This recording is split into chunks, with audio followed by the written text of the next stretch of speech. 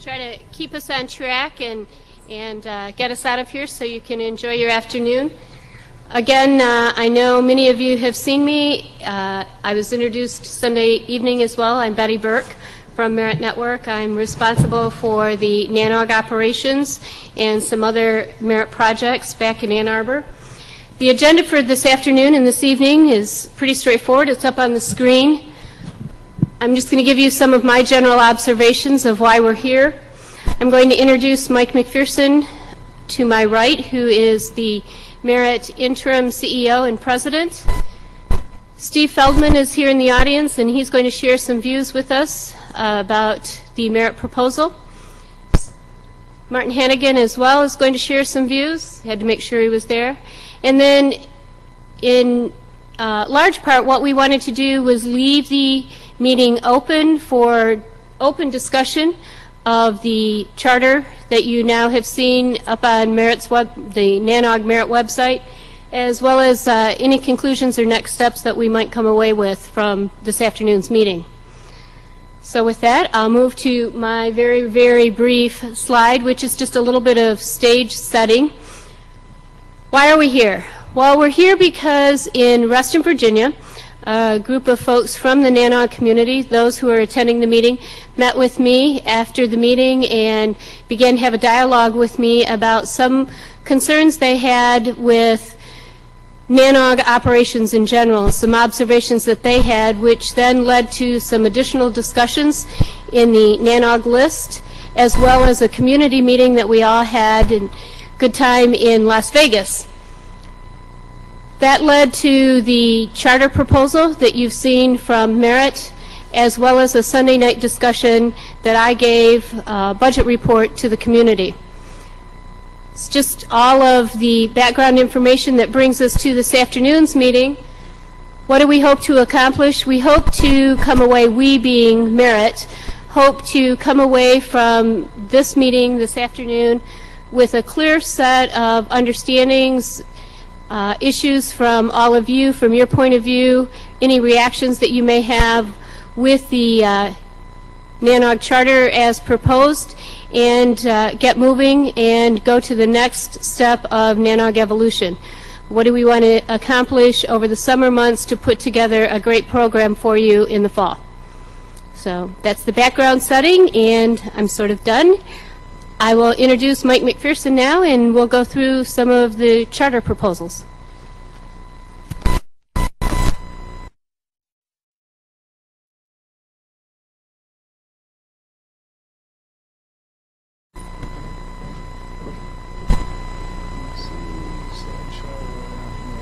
Somebody, it's always tough using somebody else's computer.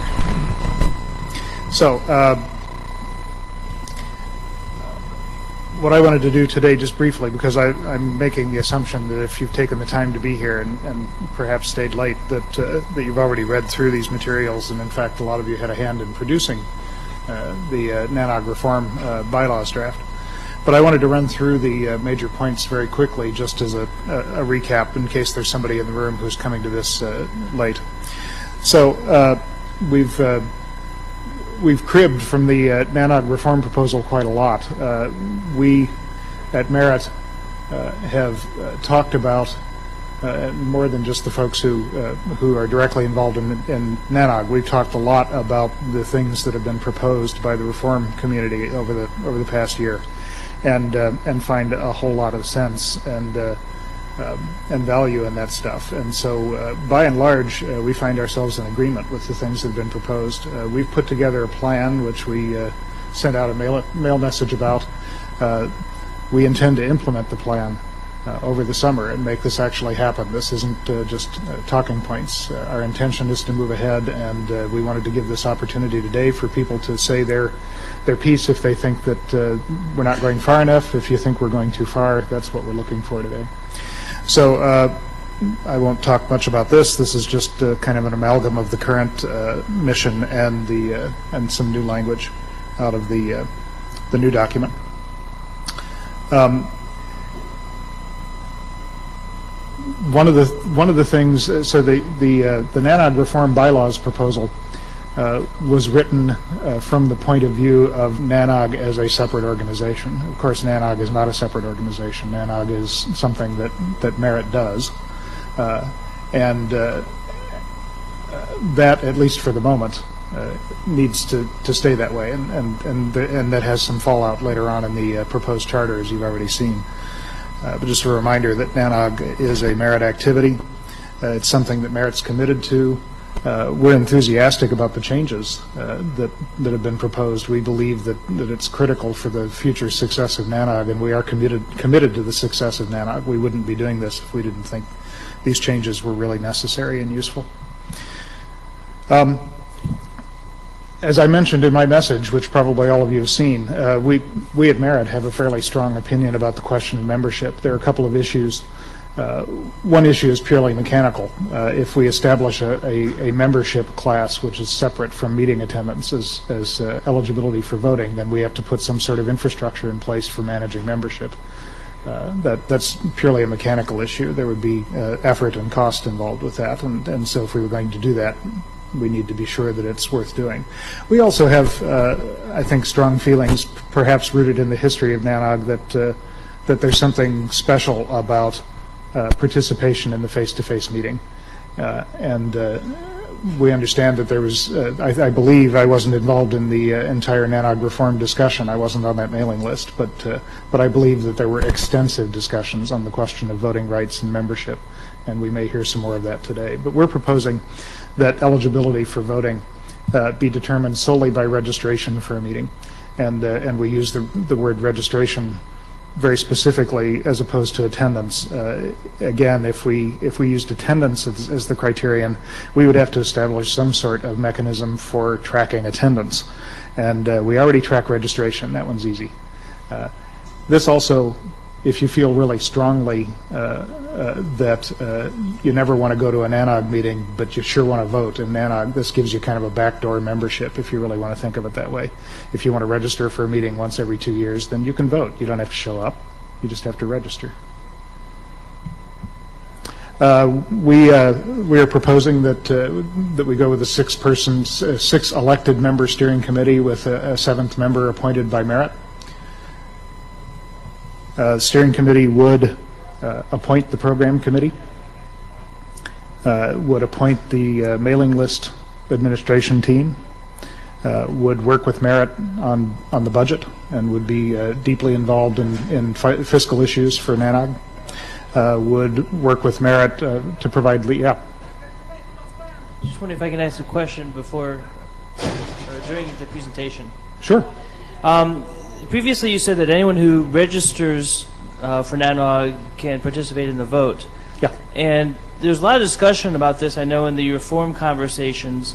Um, are you suggesting that people could register and then uh, not show up but also not pay the registration fees and still participate? Or are you saying that there No, is in fact a, a for fee way of voting? It will cost you 100 bucks or 25 bucks or what was the model that you had in your mind? No, we're, we're suggesting that, uh, that a paid registration is your, is your uh, uh, ticket to vote, basically. So in effect, 350 every two years. 350 every two years. And so if you want to think of that as a membership fee, then you can. But we would certainly hope that you would show up, since we think that there's tremendous value in the face-to-face. Yeah, thanks for the clarification. Um, uh, let's see, I think I was on liaison. So we would ask the steering committee to work with, uh, with Merit uh, on liaison with other organizations, the various other uh, regional uh, registries and, and uh, operator forums and those sorts of things. Um, and we, we propose in the, the new charter to enshrine in the charter some things that have been happening informally with the program committee, that we establish criteria for participation, that, that, that we have a way of dealing with the occasional person who might uh, might get elected to a steering committee or appointed to a program committee and then find that they don't have the time, but they just sort of hang on. There needs to be some uh, standard for participation in order to continue to sit on either the steering committee or the program committee. Uh, steering committee elections would take place nominally at the last meeting during the calendar year. Uh, this first time, we're proposing that uh, that we advance that a little bit, so we'd have a steering committee in place in October in Los Angeles. So this first steering committee would sit uh, for 13 or 14 months instead of 12 months. Um, We would have an an open nomination process. Uh, Candidates would supply bios to be posted on the website so everybody could see the, the, uh, the qualifications of the people who are running, and there would be an election. Uh, Mailing list moderation would be not so different from the way it is now. We, as, as you all know, uh, implemented a mailing list administration team. We're proposing that team would be, would be appointed by the uh, steering committee, three members appointed by the steering committee, one member appointed by Merit. Uh, We would uh, propose to continue with the three conferences a year, although this is something the steering committee we would expect would talk about. There's been a lot of talk about going back to two conferences a year. Uh, We would expect that would be a steering committee topic among the other sorts of of strategic topics for the steering committee. And we would uh, certainly look to the steering committee for guidance and help in uh, selecting hosts and meeting locations, and in fact, addressing the question of, of how hosts are selected and, and citing for the, for the meetings. I understand there are differing opinions about, about moving around versus staying in one place, for example. Program committee um, would be appointed by the steering committee. Uh, we, uh, we're proposing that uh, a, a member of the steering committee serve ex officio on the program committee and that the chair of the program committee serve ex officio on the steering committee, in both cases without a vote, uh, in order to provide lia- uh, important liaison role between the two groups so the two groups don't get out of sync.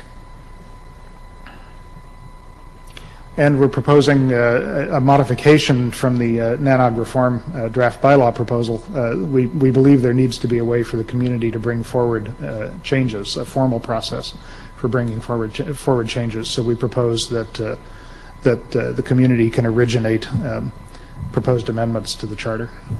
And I think that's the end of my slides. Um, So Can a steering committee member, committee, voting on both? I, th- I believe that, uh, that the proposal is no, that uh, the two groups need to be separate. You need to be either one or the other, except for the sort of exchange of prisoners that we proposed.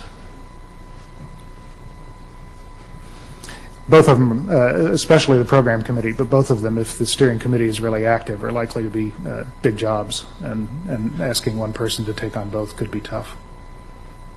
Plus, you'd be appointing yourself, which is a little odd. Okay, so, uh, Steve uh, wanted to say a few words, or or we strong-arm Steve into staying, saying a few words uh, from the perspective of uh, a program committee member. I don't believe Steve's speaking on behalf of the program committee, uh, just from that perspective. I- I- Yeah, um, I couldn't possibly presume to speak for just myself. Um, Well, I'm reasonably happy with this. um, This whole thing has been somewhat of an education process, trying to figure out what the community wants, what Merit's needs are, and all that. One of the things that I think has really been a good thing that came out of this was Merit had to stand back and think about what Merit's role in NANOG should be.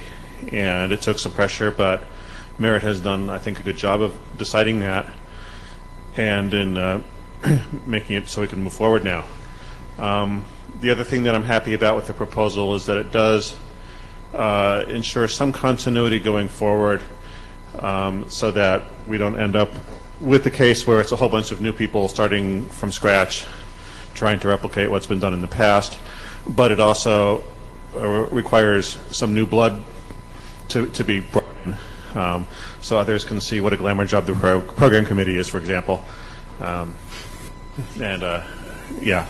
Uh, um, can't think of much else to say on the subject. Uh, other than that, I think this is probably the one of the best of a range of possible outcomes that I saw going into the process.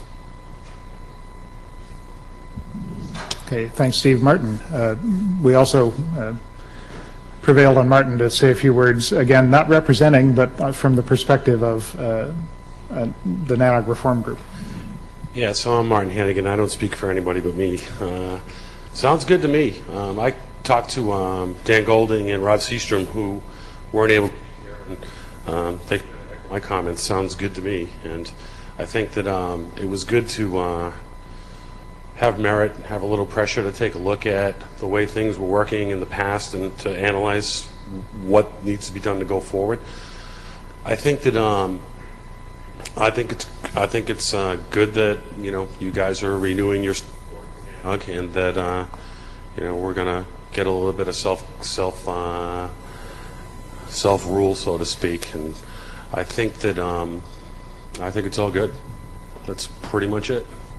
Oh, uh, one thing I, I do want to tell you is a few of us learned that uh, it's not as easy as it looks from the outside uh, looking in. And, you know, if anybody wants to get some detail on that, you know, I'll be down in the lobby in a little bit and uh, I'd be happy to buy your beer and, and give you my perspective on that. Thanks. Yeah, or, or you could hold court on the Nanog yacht in the, in the harbor here this afternoon, if you like. Hey, you want to spend the money? I'm there. We'll fly you out there on the Nanog helicopter. Yeah, I, you know, this is, this has been a, uh, a learning experience, I think, for a lot of us at Merit, and, uh, uh, and a, a good thing. And I want to say thank you for, uh, for keeping these issues alive and, and making sure that, that Merit addressed these issues. Um, I think the, uh, every organization evolves, and uh, Nanog hadn't evolved for a long time. It was time for Nanog to evolve, and, and we're enthusiastic about this evolution. Um, So, thank you very much uh, for that. I also want to say that, that the, uh, that, that we really believe in, uh, in the changes that we're planning to make this summer. This is, uh, uh, I probably can't say anything that will, will convince you if you're uh, skeptical or, or, uh, um, or worse, paranoid. Um, I can't say anything that would convince you that, that we're sincere about this, but I will say that, that we're sincere about these changes, that, uh, that we believe uh, that uh, the folks who are, who are committed to Nanog, who are members of the Nanog community, uh, know best what they need. And, uh, and that Merit, as, as Merit operates Nanog, needs to listen to the input from the community. Uh, And uh, I'm sincere in making that happen. We are going to listen. Uh, This is not just a token effort uh, that, that we're doing, hoping that everybody will think, oh, well, they, they agreed with us, and now we'll worry about something else for a while. Actually, So, yeah, questions and comments? like to, uh, I'm, I'm Vijay Gill. I would like to uh, mention the fact that what, it, what all this process has managed to generate is a lot of political BS, and we are starting to look more and more like ITU. I liked the way the old Nanog thing worked, and I thought it worked fine for many years. Then we have a bunch of people who thought, let's go and change this thing without realizing the ramifications of doing this stuff and realizing that it's actually pretty much harder than it looks from sitting outside. It's easier to whine than it is to actually do. So what it looks like here is that we are going down the route of ITU, and if there's ever a steering committee and then study groups to study like changes going forward, I think the point of NANOG is lost. The point of NANOG has not been presentations and meetings. The point of NANOG has been business done in the interstices of the meeting.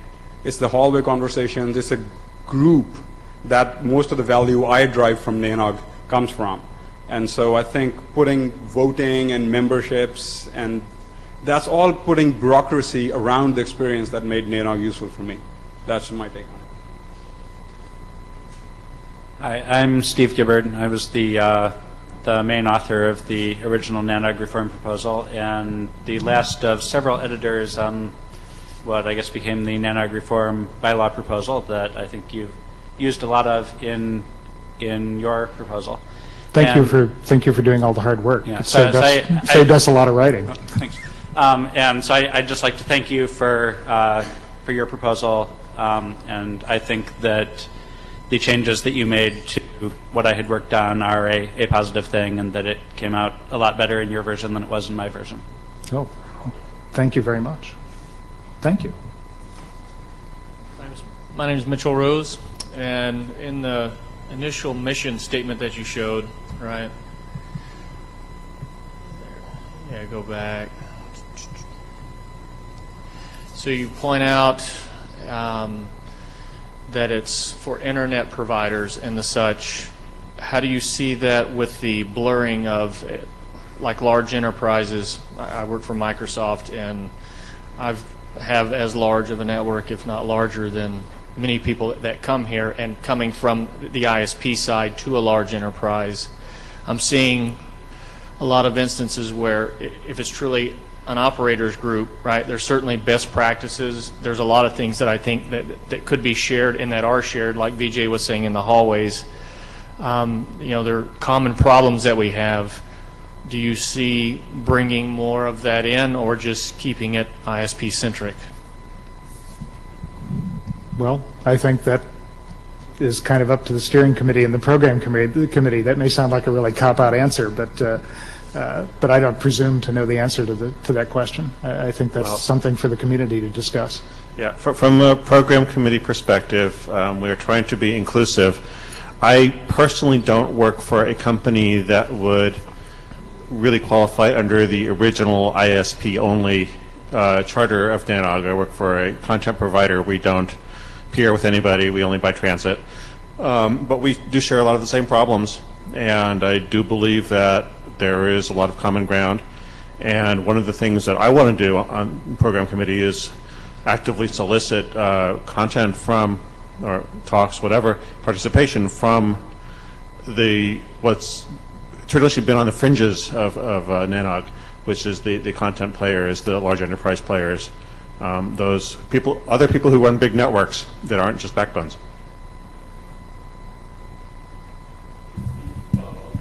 I'm short. Um, my name is Chris Malayter. I'm with TDS. Um, I serve on the Mail List Administration Committee. Um, my question is about the proposed change to the Mail List Administration Committee, where we go from three members um, appointed from the steering committee and um, one member. Right now, we have two members from Merit that sit on it, and it's kind of a nice balance um, because uh, there's five people, so you, you you can't get into a, a tie per se in the way that it works. Plus, I think that in this particular case, though, down the road, it, it, it could be revisited. I think that the, that both employees from Merit have radically different um, experiences and both have, have been on the list for a long time and provide a lot of um, help to the volunteers from the community to, I, I think that you should look at changing it to, back to having two members from Merit on the mailing list administration committee. So just one, from being, from being on it and seeing the, it's, it's crazy. Uh, Seeing, seeing that, I, I think that, I really think that to make sure that there's two there would probably, I, I, I think that it remains, it keeps the balance and still, um, we still get the, the knowledge from the merit staff of historical data, which is invaluable for the rest of us as we go forward.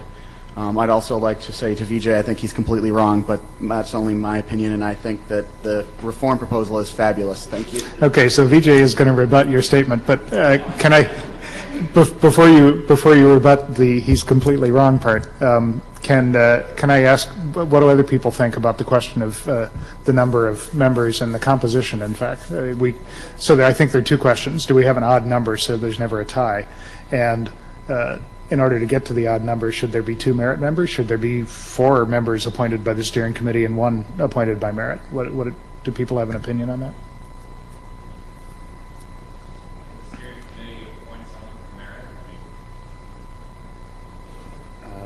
Yeah, I suppose.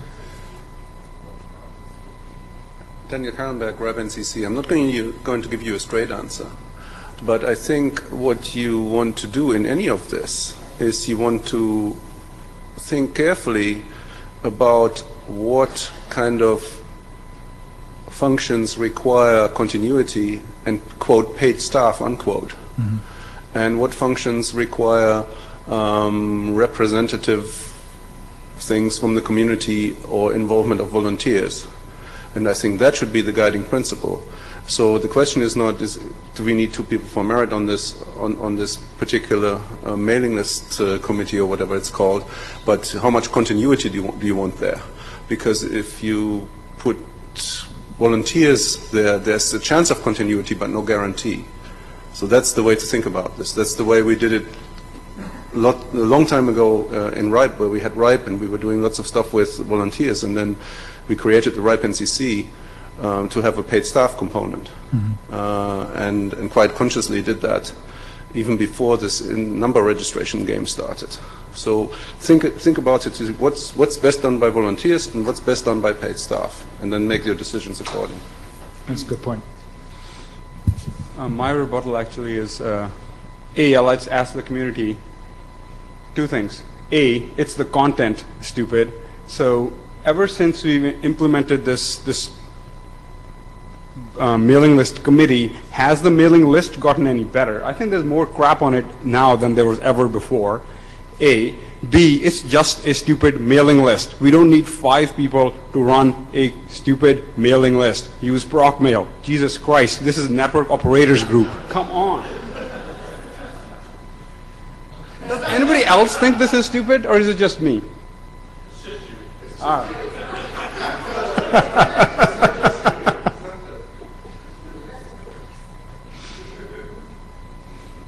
No, so there is a lot of crap in the mailing list. I mean, you're right, and it is just a stupid mailing list. No one's going to lose their life over the Nanog mailing list, but you know, the the the subscription I think goes up every so often, and the messages by the trends that we showed at the uh, the mailing list at the other community meeting show that there's more and more things being posted. I mean, you know, I think I gave an opinion that night that said the mailing list is too big. Maybe that's something that instead of uh, trying to figure out, you know, I'm with you on delete key and ProcMail, um, but it seems like the majority of you people aren't uh, for some reason, and that may not be true as well. I don't know what the middle is and what merit could do to make everybody happy or what we could do to make ourselves happy. Okay, one question. If you can't manage a mailing list and you are running like internet networking, I, yeah, pretty much.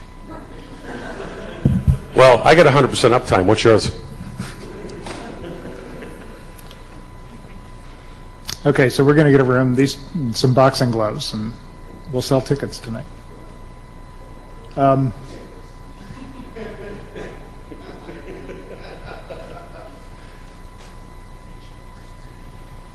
Okay. Um, After a year of heated discussions, I can't believe that we have 15 minutes worth of, of questions and comments. Let me actually put a proposal to the, to the audience here. I say we take what we have, we cut the, uh, the mailing list, uh, censorship board, whatever the hell they call it nowadays, the, the, the Politburo, put it down to like two people, do some of this reform thing, and I really don't care. Really, I mean, just just get a move on. I wasted more time of my life doing this when I could have been talking to people and actually moving on with what I really wanted to do. So I think we should revert back to what your original proposal was. Um, don't worry about the mailing list. Don't worry about like percentage composition of two from a merit and versus one from the program committee. That I think that's bullshit. And just pick three people, call it done. So I'd like to offer to give my spot up on the mailing list to VJ, and I support his two-person, uh, his two-person proposal. I think we should just go to a one-person mailing list and have VJ just run it there. I, you know, I, I, I think the problem herein lies is that, that the masses spoke that they, that they wanted it this way. And if you, if you don't, if you don't, if you don't, if you don't like that, then that's fine, VJ. But you can't, you can't just, dis- you can't just throw away everybody else's opinion and say that this is, this is the way it is. I'm sorry. There you go. you know I mean? What do you, what do you want? I'm speaking from a realistic point of from a realistic point of view. Okay, the half the people who started off with this big noise about we're going to reform NANOG, we're going to do this, we're going to do that, half of them aren't even here. Okay? It's because this is hard work, and I appreciate the people who are doing this, and I think they're doing a pretty good job running it. I think the winders need to STFU and go do some real networking. Okay, so, um, yeah, I think that, uh, I, I, I think that we've got to, yeah. Well, I mean, I'm trying to find the right way to say this. Uh, so, uh, you know, everything is, uh, everything's, everything is an approximation. Uh, uh, everything, uh, you try it, you see what works. If the things that don't work, you fix. Uh, and, and I think that's the way that we're thinking about this. So we put this stuff in place, we try it, the things that have value we keep, the things that don't have value we work on. Uh, we don't uh, build bureaucracy that lasts for, for a million years if it doesn't work. Yeah. right, I mean, just to reiterate what I said the other night, um, I think the mailing list experiment, moderation experiment, has worked. I mean, um, the people who complained about mailing list moderation are now not complaining about mailing list moderation. Um, so, to the extent that you know more experimentation is not really necessary, I'm not sure. You know that this should be a really hard problem. Mailing list moderation should be something that has a really light touch, and by and large, people shouldn't be aware that it exists at all. Yes, the signal to noise ratio of the NANOG list is really high. Um, that's a property of the number of people on it. Low. Excuse me.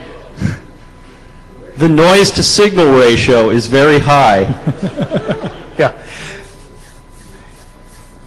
And so, for- you know, formal, evalu- uh, some sort of formal evaluation mechanism, like, like the surveys that we do at the meetings, there needs to be some evaluation mechanism for deciding whether moderation is working, I think.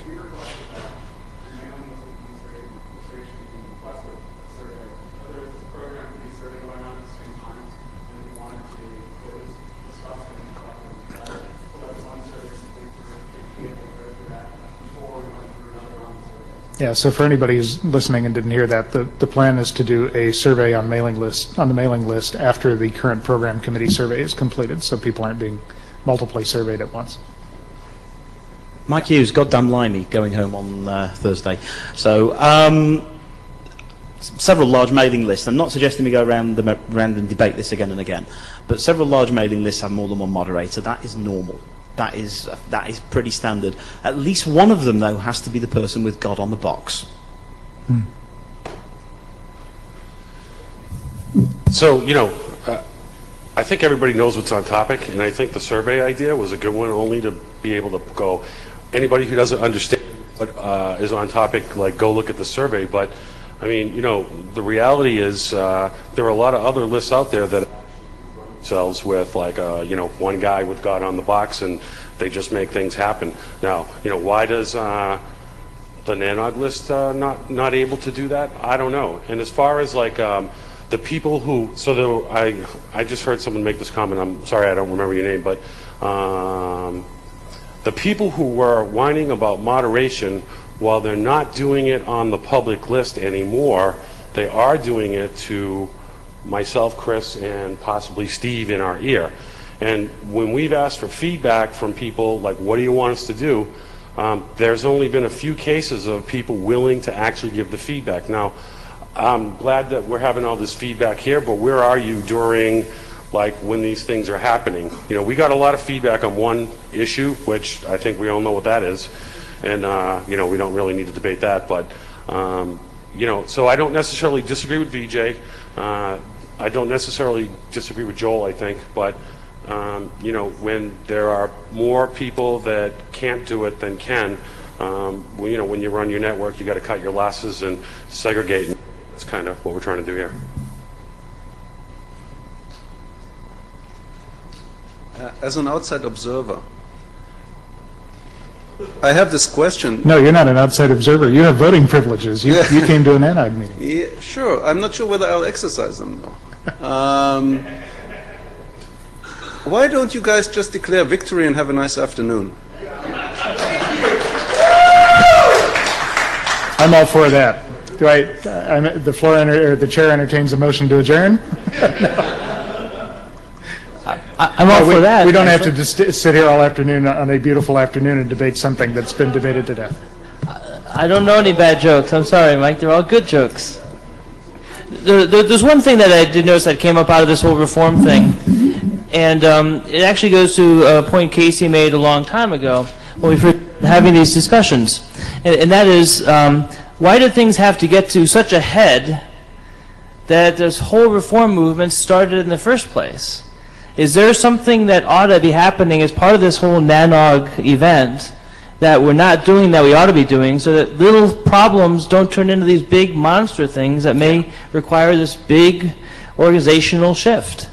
Yeah, I think you're exactly. We have survey forms, we've had survey forms for a long time, but Yeah, uh, I think we heard earlier that, what, 80 some got filled out of, by, uh, for a meeting of 400 people? Yeah, that's actually not a bad return rate. If you talk to somebody who does surveys for a living, that's not a bad return rate. I, I think I, w- I will answer Bill's question by saying that uh, you know, at, at least among those of us who, you know, started discussing this several months ago, the, I think the feeling on that was that what would make that difference was a lot more open communication. And I think we've, we've gotten to that point now. Yeah. So as, as Daniel suggests, um, you know, I think I'm ready to go declare victory and have a nice afternoon here.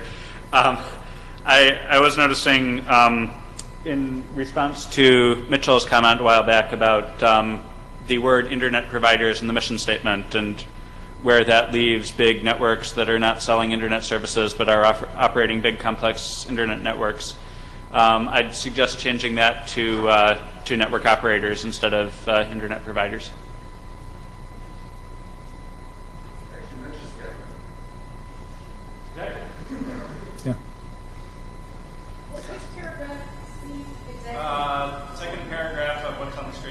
Middle on the screen. Call it network operators. Uh, technology, technology deployment in, in, deployment in internet networks, perhaps. The word in, in internet. Yeah. Okay. Uh, Yeah, I, I think you're right. I think uh, closing the loop uh, I- I- will help. I think um, being deliberate about communicating about these issues, you know, having, having the meta conversation, not just having the conversation about uh, the, the, the topics of the talks that we're having this week, but uh, having the conversation about NANOG, uh, which, which you need to be deliberate about. You need to make time to have that conversation. You perhaps don't have to set aside a total of seven hours at each NANOG meeting to do this. Uh, But this is kind of an unusual transition circumstance. But doing the surveys and then feeding the results of the surveys back, uh, talking about the finances like we did on, on Sunday night, which was the first time that's ever happened. Um, Providing an opportunity, maybe just a short opportunity at each, at each NANOG meeting for people to stand up and say what they think about the way things are going uh, I think all of these things, making, making that discussion about NANOG itself deliberate, paying some attention to it, will keep us from getting to the, to the place where you need a, a revolution. Although sometimes you just need a revolution, right? I'm going to relay some stuff from Ren from Uh-huh. IRC. So um, there's, she had a couple of feedback items that she wanted to put in. In terms of the content of the meeting, she said that um, there should be a peering BOF each meeting that's not in the middle of the night, um, an IX panel each meeting. Um, the surveys have always had feedback about not putting the peering BOF in the middle of the night, and it still happens. Um, let's see, it should be blah blah blah. Uh, the scheduling um, people are, have, or Joe said uh, to not schedule the meeting during non-business hours. Um, um, change the surveys um, to have different questions. I think that's about it. I don't know. So, can, can do you want to? I, I don't know how to deal with that, so I can only relay the question. Ren, what questions do you want?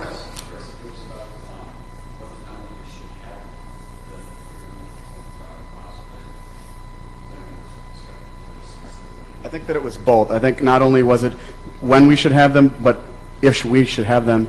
And I believe that her point is we should have them each meeting, and they should not be in the middle of the night. I, I can comment on a couple of those things. Um, yes, we know. Uh, we tried to arrange the schedule so we wouldn't have to have late BOFs this time uh, because of constraints. We weren't able to do that. Um, one of the constraints, of course, being this meeting here. Um, what, what we did do this time around was switch the peering BOF and the security BOF so that the peering BOF was earlier and the security one was later.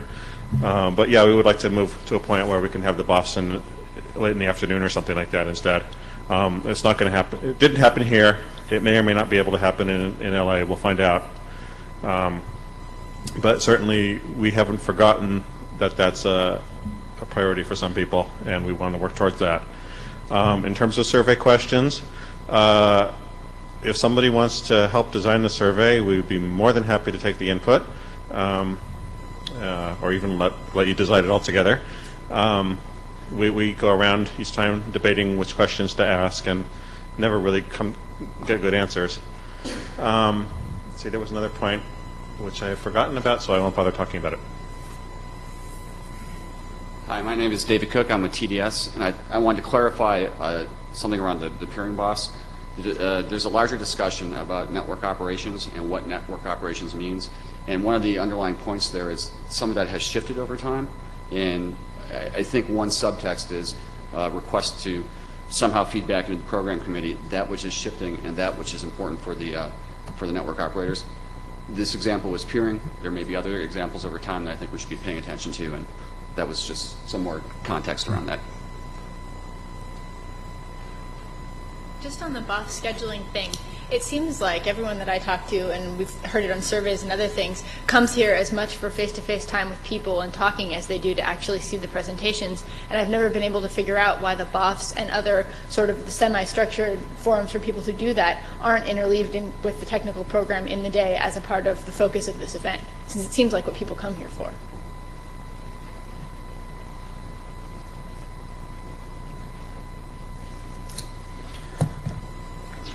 Okay, I heard a sizable body of sentiment for declaring victory and enjoying the day. Is that the sense of the group? Well, I- yes, uh, that's what I thought. So I I just want to say thanks again to everybody who's taken the time to express an opinion, to uh, put in so much work on the NANOG reform draft, uh, to uh, to keep your two-by-four out and keep whacking Merit upside the head with it until we listened. Uh, Thanks to everybody for being so committed to NANOG. I think, uh, I- I'm excited about this. I think uh, it's a, it's a good experiment to try. It's going to make NANOG a better, uh, a better activity for everybody involved. So thanks to all of you. I really appreciate it. That's it.